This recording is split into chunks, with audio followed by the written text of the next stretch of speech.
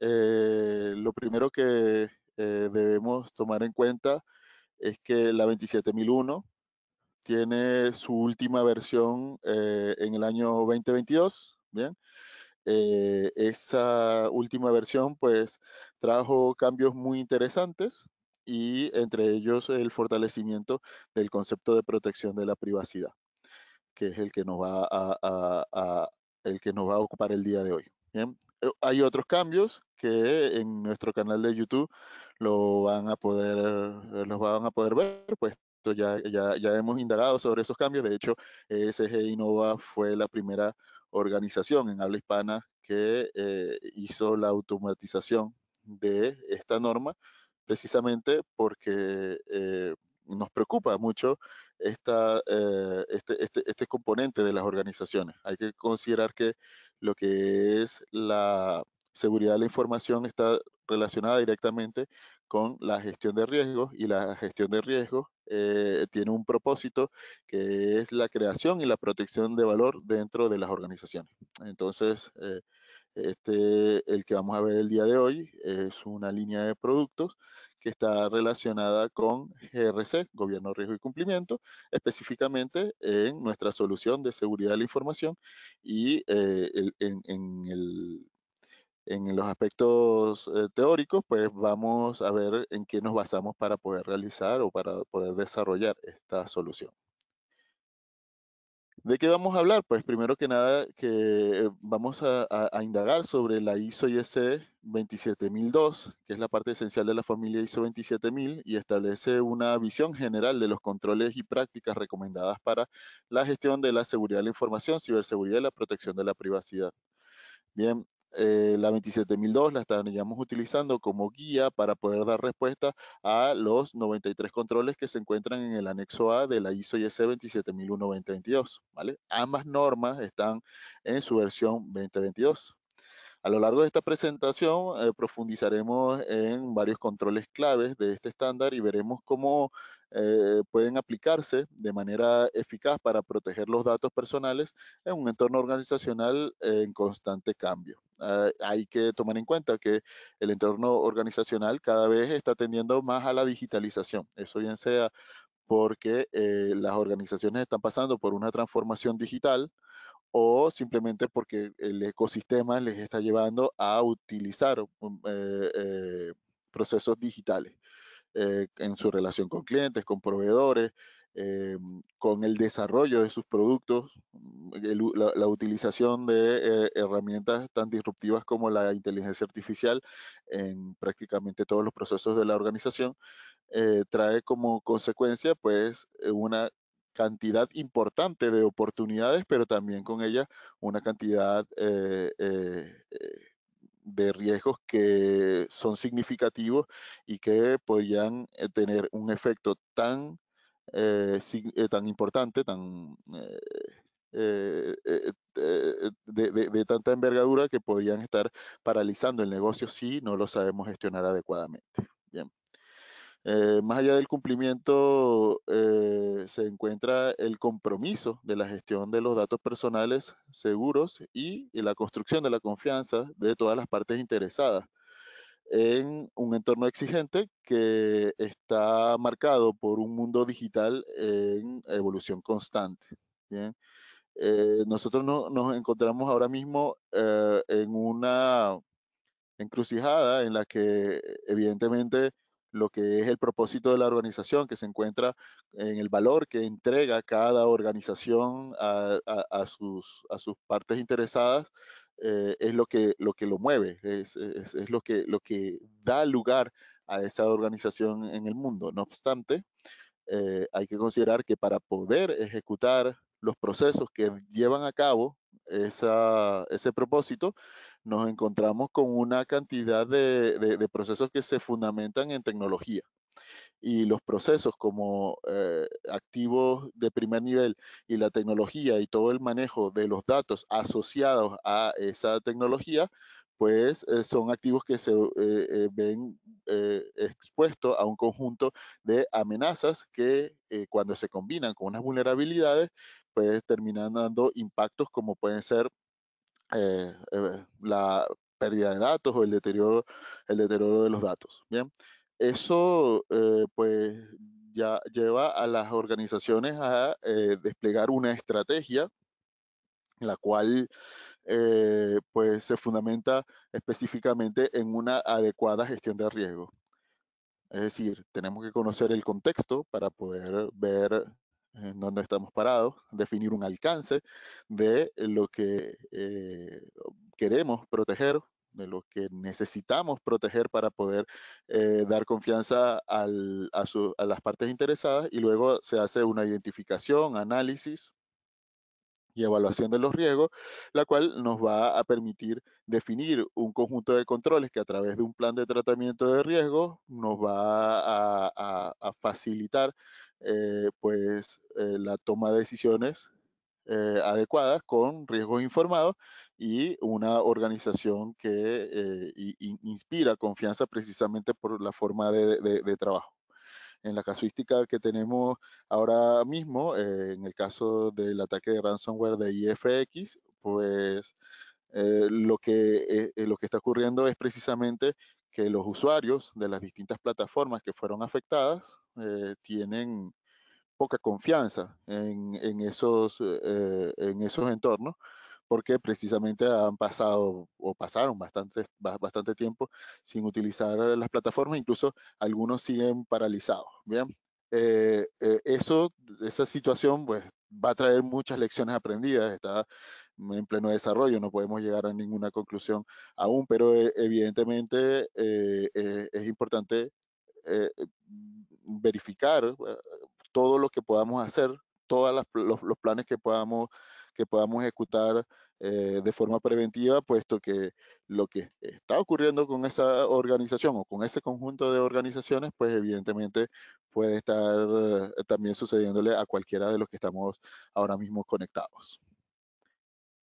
Muy bien, entonces ya reconociendo lo que es el, marco normativo que vamos a estudiar el día de hoy, pues eh, estudiemos el, centro, lo que es el corazón de ese marco normativo que tiene que ver con los riesgos, ¿vale? Vamos a ver los riesgos relacionados con la protección de la privacidad. Para poder hacer un análisis de riesgo tenemos que conocer un conjunto de factores, lo que son las amenazas y las vulnerabilidades más comunes. Evidentemente, aquí no vamos a ser exhaustivos para decir, ah, conocemos factores, amenazas y vulnerabilidades, pero sí las más comunes, las que, las que, las que eh, comúnmente eh, se ven expuestas las organizaciones. En cuanto a los factores, nos encontramos factores humanos, técnicos y, naturales. En cuanto a los factores humanos, tenemos humanos internos y humanos externos. En cuanto a los factores humanos internos, tiene que ver con eh, la conducta que tienen los seres humanos que operan dentro de una organización y también tiene que ver con eh, las relaciones que hay entre estos seres humanos. Muy importante. Eh, mm, sé que para muchos especialistas de, seguridad de la información, ciberseguridad y protección de, eh, datos, pues e, e, esta disciplina o estas disciplinas tienen que ver mucho con tecnología, pero la verdad es que tiene que ver más con el ser humano que con tecnología. Eh, esto pasa por la comunicación, la concienciación y las competencias que tienen esos seres humanos y eh, entre esas competencias se encuentran las competencias blandas como el liderazgo y ese liderazgo trae eh, también como consecuencia buenas o malas relaciones dentro de las organizaciones y en consecuencia el factor humano puede ser muy determinante a la hora de, mm, evaluar la eficacia de un sistema de gestión de eh, seguridad de la información eh, ciberseguridad y protección de la privacidad. También están los humanos externos, que eh, están motivados por eh, diferentes factores, ¿vale? O, por diferentes, tienen diferentes motivos. Los motivos pueden ser desde el activismo hasta motivos económicos. podrían estar relacionados también, por ejemplo, con el sabotaje industrial. una, una, acción directa por una competencia desleal podría estar eh, representando esos factores humanos. También están los factores técnicos y hay que considerar que cuando estamos trabajando con tecnología, eh, pues la tecnología es susceptible a, fallas. Esas fallas están dadas por fallas físicas. Cuando estamos hablando de, tecnología, estamos hablando de ordenadores, de switches, de cables, de, tuberías, ¿vale? Que están, son, son susceptibles a, daño físico por, los, por los factores que, en los cuales están interactuando. Eh, calor, humedad, eh, interacción entre, entre, entre cuerpos, etc.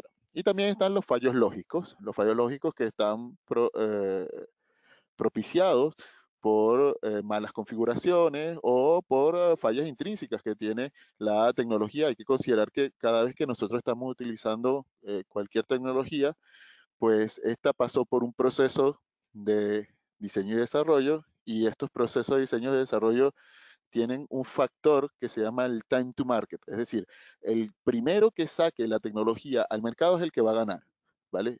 Esa premura que existe en sacar eh, esa, solución, esa, esa, tecnología al mercado, pues eh, hace que eh, eventualmente los desarrolladores se salten ciertos, ciertas barreras de control eh, ciertos controles de seguridad precisamente para cumplir con esos time to market. Eso es una realidad. Eso, eso está dentro del contexto de la seguridad de la información. Por lo tanto, eh, eh, ningún sistema es totalmente confiable. Bien, además también existen los factores técnicos externos que, propiciados por o, operados por esos seres humanos externos, atacantes externos, pues también pueden aprovechar esa tecnología tan maravillosa que sirve para la productividad y para la mejora eh, de la calidad y la sostenibilidad de las organizaciones, también se puede utilizar para, para hacer daño. Es decir, por ejemplo, lo maravilloso que puede ser la, la, la inteligencia artificial, por ejemplo, para optimizar un proceso de, no sé, de envasado mm, de alimentos, también se puede utilizar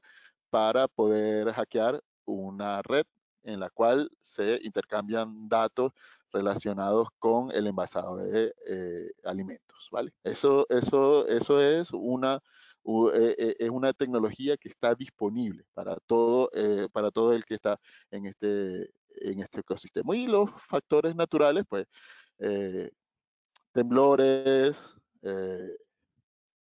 tormentas, tifones, tsunamis, eh, situaciones que están eh, siendo cada vez más frecuentes. Mm, en este caso, eh, mm, se le atribuye al cambio, al cambio climático, a las condiciones extremas que trae las condiciones climáticas y por supuesto esto afecta a la tecnología del ser humano y en consecuencia afecta a los activos de información de una organización. Bien, estos pues, factores se distribuyen en un conjunto de amenazas, ¿vale? Las amenazas más comunes que podemos encontrar en la protección de la privacidad son robo pérdida, ¿vale? Eh, por ejemplo, el ataque de ransomware está relacionado directamente con esta amenaza. Daño o destrucción, que es la degradación de la calidad de los datos con intención de sabotaje, por ejemplo. Alteración o modificación, esto también es con la intención, o puede ser por eh, intencionado o no intencionado, bien, por eh, los distintos factores que ya hablamos, o el mal uso. Este mal uso se puede dar de forma intencional o no intencional. ¿vale? El mal uso eh, no intencional se da normalmente cuando las personas no son competentes, ¿vale? O no son conscientes hay, que, tener eh, mucha, eh, mucha atención porque podemos ser muy competentes pero poco conscientes o viceversa. Poco consciente, es muy consciente pero poco competente. Eh, por lo tanto, las medidas que se toman tienen que ser medidas técnicas, organizativas, relacionadas con el, ser humano y también, por supuesto, relacionadas con eh, los entornos físicos, ¿vale? Eh, que esos son los cuatro temas que eh, tiene el anexo A de la 27001-2022. Y existe un conjunto de vulnerabilidades que son las características propias del uso y explotación de los activos de información, que en este caso se encuentran, por ejemplo, los errores de configuración. Esos errores de configuración se dan eh, eh, por, distintos factores, podrían ser pues, los mismos time to market, por volumen alto de trabajo, por falta de competencia, por las vulnerabilidades intrínsecas que tiene la tecnología a la hora de, adquirirlas o de, o de desarrollarlas. Bien, los errores humanos, evidentemente, muchos, muchos pasan por el error humano. existe, pues, una expresión que a mí me gusta muy poco, pero eh, eh, eh, no, es una, no es un secreto para nadie, donde dicen que la, una cadena es tan fuerte como su eslabón más débil, ¿vale? Y suelen decir en tecnología que el eslabón más débil es el ser humano. Bien, ah, yo no comulgo con esa frase, pero si existe la frase es porque hay una realidad, hay una realidad que tenemos que saber enfrentar. Bien, eh, bueno, está también la falta de preparación ante incidentes disruptivos. Eh, eh, pues hay que tomar en cuenta que hay una cantidad de, situaciones que no vamos a poder controlar. Por ejemplo, en el caso, en un caso de un terremoto, en un caso de un tsunami. Esas situaciones no las vamos a poder controlar porque la naturaleza actúa y nosotros simplemente eh, eh, vamos a estar expuestos a, ese, a, esas consecuencias sin, sin, poder hacer nada durante eh, el, terremoto, durante el tsunami, pero evidentemente la vulnerabilidad subyace en el no haberse preparado antes. antes de que ocurriera esa situación indeseable, incluyendo los ataques cibernéticos, por supuesto. La falta de control de acceso, bueno, el tema del control de acceso daría para un webinar completo. Eh, el control de acceso pues pasa por una estrategia completa que tiene la organización. En, los controles de acceso pues está eh, la mayoría de, las, eh, de los incidentes en la actualidad. También está la falta de transparencia, eh, cuando se, se, dice que existen controles, que existen certificaciones, que se utiliza unos criterios y no se aplican realmente. Y la falta de concienciación. La falta de concienciación está, eh, pues, en el marco de eh, que las personas son las que toman decisiones utilizando una tecnología y en consecuencia, si no son conscientes, pues van a estar expuestas a las... Eh, eh, a, ese, a, ese, a, ese, conjunto de amenazas que están allí presentes provenientes de los distintos factores. Bien, hagamos un análisis ahora de los controles que nos facilita la 27001 en su anexo A y que están explicados en la 27002. Bien. Los controles que encontramos para protección de la privacidad, ya siendo conscientes de los riesgos a los cuales está expuesto una organización, pues eh, se encuentra primero, el primero es el, el, el 5.23, que aparte es un control nuevo de la 27001-2022 y que nos habla de seguridad de la información para el uso de servicios en la nube. Bien, este control tiene guías específicas, la 27017 y la 27018. Bien, la 27017 para lo que es la aplicación de los controles de la 27002 a, la, eh, a, los eh, servicios en la nube y la 27018 está relacionada con eh, la protección de datos que se encuentran en los servicios de la nube. Bien. Este es un control de carácter preventivo, bien, en, su caracterización. Tiene eh, eh, las, las, propiedades de la seguridad de la información que ellos protegen es la confidencialidad y la integridad y disponibilidad, ¿vale? se encuentra en el concepto de seguridad cibernética proteger, bien, del punto de vista de capacidades operacionales es eh, eh, relación con, el, con los proveedores eh, relación con lo que, todo, todo, todo lo que es la, la, entrega, la cadena de suministro de seguridad. Bien, los dominios de seguridad son gobernanza y protección del ecosistema. Esta caracterización nos sirve para poder saber todas las dimensiones en las cuales actúa la seguridad en la nube. Con esto yo les, eh, eh, traigo eh, a colación un tema muy importante y que creo que es, es, relevante que que todos manejemos ciertos términos. Hay veces que dicen, ah, es que yo tengo toda mi información en la nube. Y ya eso pareciera una, una solución mágica, decir, oye, ya está todo protegido porque se encuentra en la nube. Bien. El término nube no es más que un conjunto de elementos que están interactuando para poder hacer el almacenamiento y protección de eh, una información que se encuentra físicamente en algún lugar del mundo, ¿vale? Pero esa eh, eh, información pues tiene que ser susceptible a ser almacenada y transferida. ¿Vale? Y para poder ser transferida, pues tenemos que tener acceso a ella. Y para tener acceso a ella, si el ser humano tiene acceso desde tu oficina o desde tu casa o desde tu teléfono móvil, pues lo va a poder tener un atacante. Bien, eso es una realidad. Y hay que considerar que solamente contratar un servicio de la nube no es suficiente para decir que los datos están seguros, porque el servicio de la nube puede ser simplemente el almacenamiento y disposición de los datos, eh, que ese es el servicio por defecto. ¿Vale? Pero no necesariamente, si no, si no haces la configuración necesaria para eh, eh, eh, la seguridad en la nube, pues no vas a tener datos seguros, aunque estén en la nube, ¿vale? hay ciertos niveles de seguridad que son los niveles de seguridad básicos, pero mucha de la responsabilidad de la protección de la información en la nube pasa por una adecuada configuración de el dueño activo de servicios en la nube. Bien.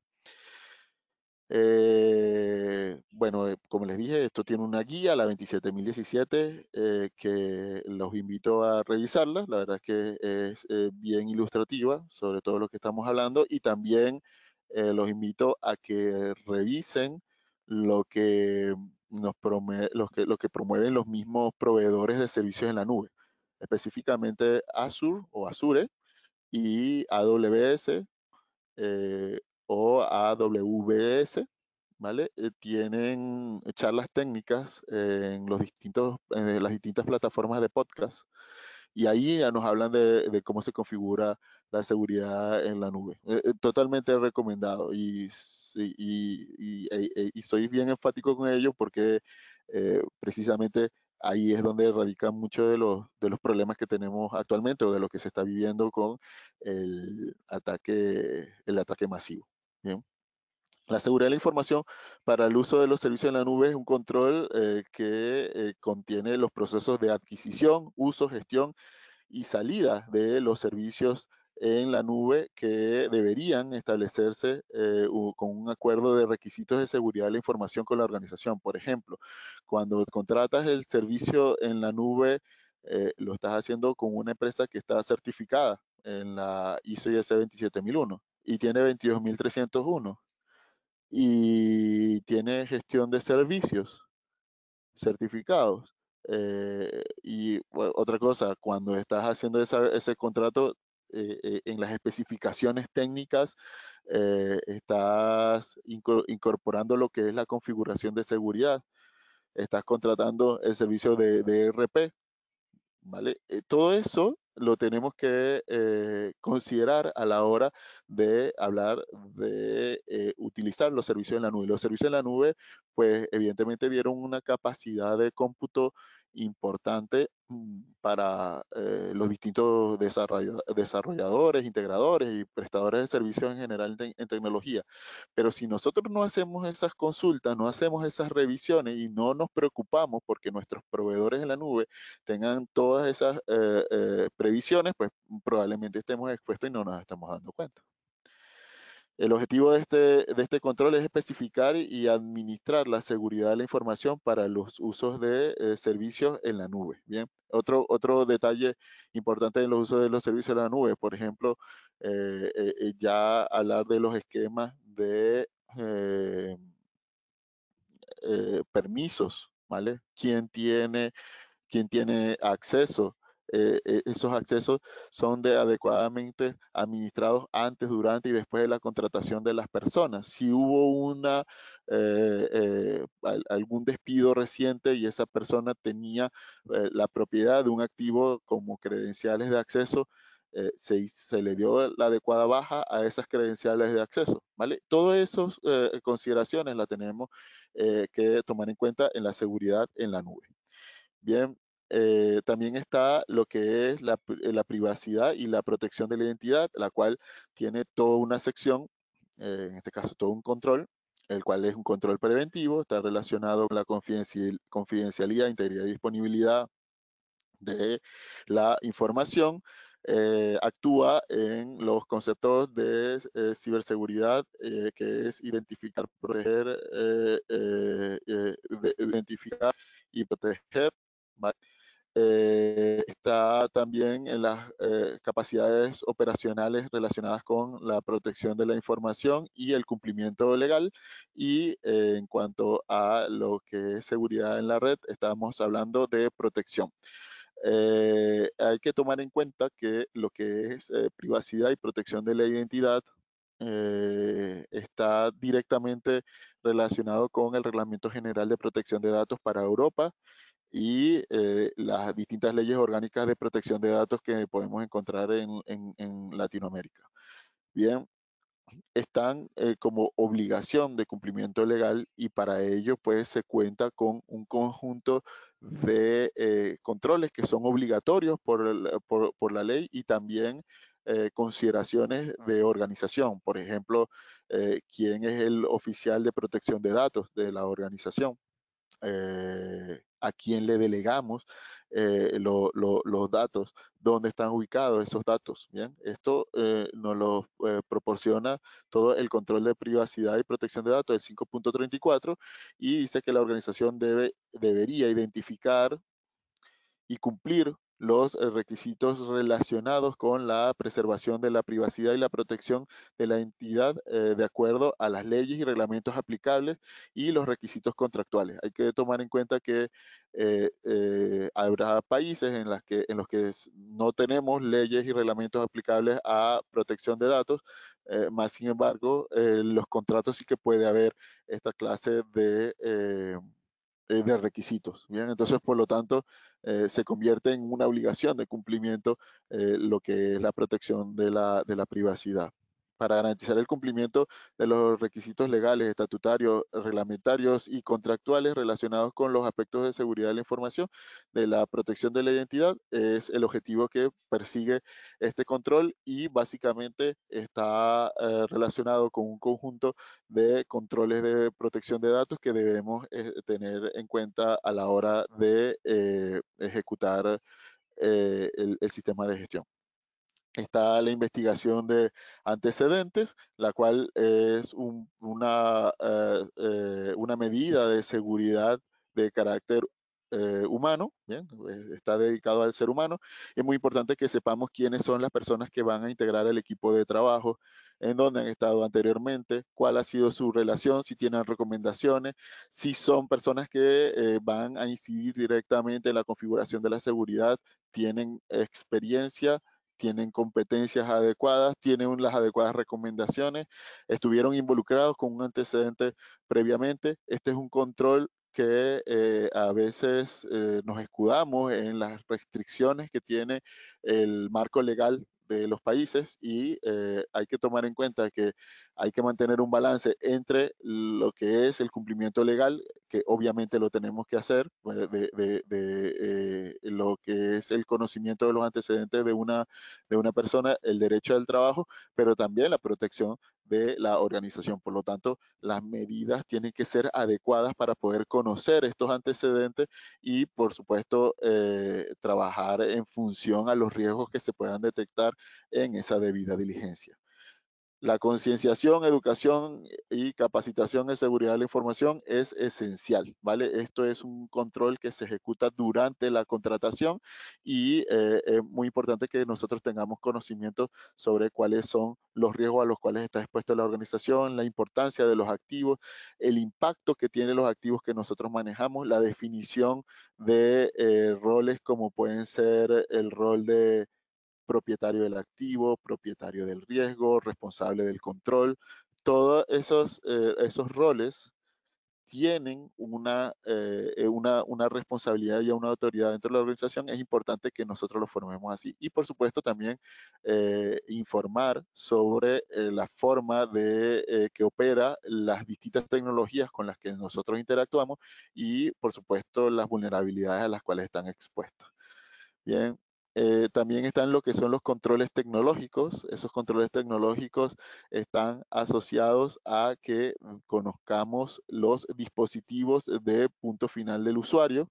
Ese conocimiento de esos dispositivos tiene que ver, por ejemplo, si estos están eh, dentro de un directorio activo, si están con la adecuada protección de eh, a los accesos a, esos dispositivos, si se tienen políticas de dispositivos eh, eh, eh, no atendidos, si es un dispositivo móvil, el mismo está cifrado, si se está utilizando conexiones a Internet seguras, si se están visitando las páginas con los adecuados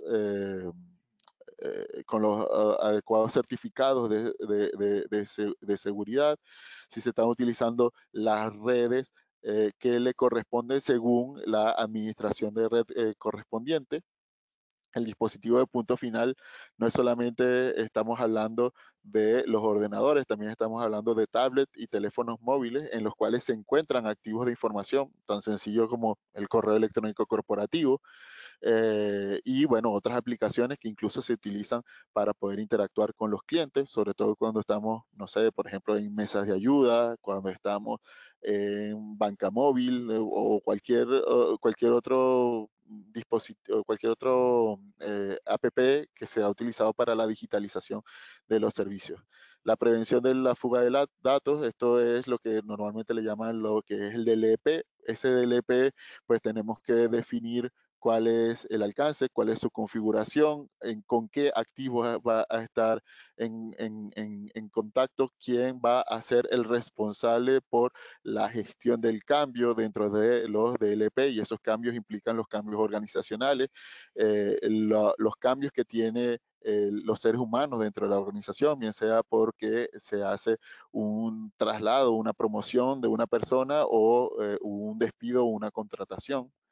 Bien, eh, lo que es el análisis del registro, es importante que tengamos eh, sistemas que nos permitan hacer un análisis del perfil de los registros que hayan en, la organización, el análisis de los logs eh, de apertura, cierre, frecuencia de conexión, lugares de conexión, lo que son las direcciones IP que se están utilizando, quiénes lo están utilizando, el volumen de datos que se están trabajando, eh, la, restricción de eh, que se supriman datos de las diferentes eh, de las diferentes ubicaciones, protección de, de, las bases de datos y la auditoría de los mismos para que se originen informes que detecten vulnerabilidades y atacarlas, por supuesto están los requisitos de seguridad de la aplicación. Todas las aplicaciones en la actualidad tienen una, una sección de configuración. En la configuración tienen secciones de seguridad. Nosotros como usuarios de esa, de esa tecnología tenemos que relacionarnos directamente con esas configuraciones y adecuarla a la importancia de la información que estamos guardando en las diferentes APP. Eh, no nos quedemos con la configuración básica, siempre tienen configuraciones básicas y avanzadas. Es importante comprender esas, eh, eh, esas configuraciones y si nosotros somos clientes del desarrollo de una app, pues a nuestros proveedores tenemos que exigirle que tengan esa oportunidad de generar esas configuraciones está también lo que es el desarrollo subcontratado. Aquí, aquí hay que tener mucha atención porque existen las políticas de desarrollo seguro, las cuales eh, tienen eh, ingeniería de software y todo lo demás, pero hay veces que eh, las necesidades de desarrollo superan la capacidad del equipo y subcontratamos desarrollo a veces a em, eh, profesionales que son muy competentes, por supuesto, pero que puede ser que tengan poco, eh, eh, poco control de seguridad de la información, al menos no está en el mismo ecosistema de una organización que se ha preocupado por tener políticas y todas las medidas necesarias. Por lo tanto, nosotros tenemos que llegar a acuerdos con esos proveedores de desarrollo para que eviten que eh, sus eh, acciones puedan impactar negativamente a el ecosistema en el cual se va a, donde va a aportar sus donde va a aportar sus soluciones bien como conclusión debemos tomar en cuenta que la norma ISO IS 27002 no solo es un marco para el cumplimiento normativo sino también una guía esencial para establecer la seguridad de la información sólida y que proteja los datos personales eh, que están en constante riesgo. La 27002 es un instrumento eh, complementario de la 27001 y por eso nuestro webinar se llama Más allá del cumplimiento de la 27001, ¿vale? Al mirar más allá de ese cumplimiento, descubrimos los beneficios de una cultura de seguridad en toda organización, donde cada colaborador entiende su papel en la protección de los datos personales y la implementación de estos controles se convierte en una inversión en la confianza del cliente y la reputación de la organización, la cual es el valor más apreciado que tenemos en la actualidad. Como bibliografía utilizamos la 27001-2022 específicamente en el anexo A y para poder desarrollar cada uno de eh, los controles estuvimos hablando de la 27002-2022. Muchas gracias por su atención. Ahora Edgardo les va a hablar de cómo se implementan esos controles en función a unos riesgos detectados. Muchas gracias.